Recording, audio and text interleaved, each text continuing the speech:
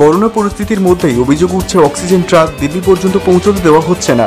সম্প্রতি দিল্লি হাইকোর্ট জানিয়েছে, যদি কেন্দ্র, রাজ্য বা কোনো স্থানীয় প্রশাসন অক্সিজেন সাপ্লাই আটকে দেওয়া হয়, তাদের আমরা ছেড়ে দেব না। তাদের বিরুদ্ধে কড়া পদক্ষেপ নেওয়া হবে।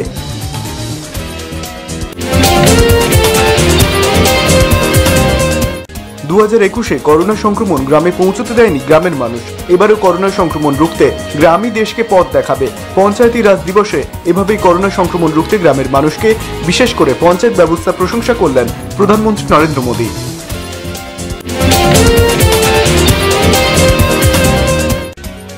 রাজ্যে রাজ্যে অক্সিজেনের জন্য হাহাকার। এরই মধ্যে দিল্লির জয়পুর গোল্ডেন হাসপাতালে মর্মান্তিক কাণ্ড। অক্সিজেনের অভাবে মৃত্যু হলো কুড়ি জন করোনা রোগীর। হাসপাতাল সূত্রে জানা গিয়েছে, প্রত্যেকে ক্রিটিক্যাল কেয়ার ইউনিটে ভর্তি ছিলেন। প্রত্যেকে অক্সিজেন সাপোর্টে ছিলেন।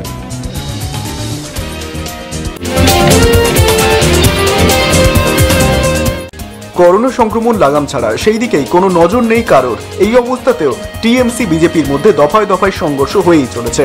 জেলায় শিল্পাঞ্চল যেমন উত্তপ্ত, তেমনই গরম বিভিন্ন গ্রামীণ ও মফস্বল। সেই সঙ্গে উঠছে প্রশ্ন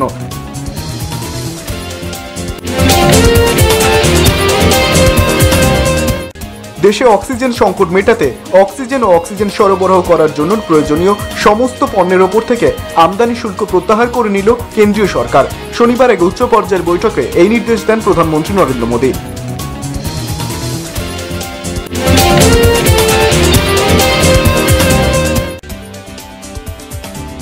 বিজেপির কথায় নির্বাচন কমিশন চলছে। নির্বাচন কমিশনের বিরুদ্ধে গুরুতর অভিযোগ আনলেন রাজ্যের মুখ্যমন্ত্রী মমতা বন্দ্যোপাধ্যায়। আর এই অভিযোগের ভিত্তিতে নিরপেক্ষ নির্বাচনের দাবি জানিয়ে নির্বাচনের পর তিনি সুপ্রিম কোর্টের দ্বারস্থ হবেন মুখ্যমন্ত্রী মমতা বন্দ্যোপাধ্যায়।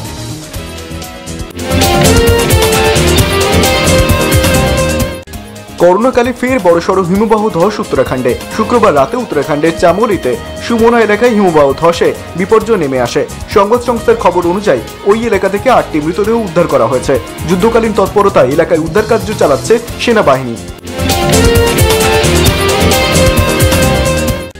রাজ্যে করোনা সংক্রমণ বেড়েই চলেছে। এই পরিস্থিতিতে নির্বাচন কমিশনের প্রচারে কোপ সেই কড়া বিধি মেনে রাজ্যে পা রাখছেন অমিত শাহ।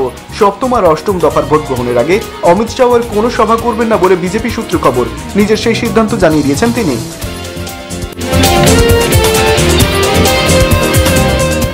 টিটাগড় পৌরসভার স্বাস্থ্য ভবনে চলছে করোনা ভ্যাকসিন দেওয়ার কাজ। সেই করোনা ভ্যাকসিন নিতে মানুষের লাইন পড়েছে বিশাল। কিন্তু সেই লাইনে নেই কোনো সামাজিক দূরত্ব, যার ফলে প্রশ্ন উঠছে, করোনা ভ্যাকসিন নেওয়ার আগেই কি করোনা সতর্কতা ভুলে গিয়েছেন?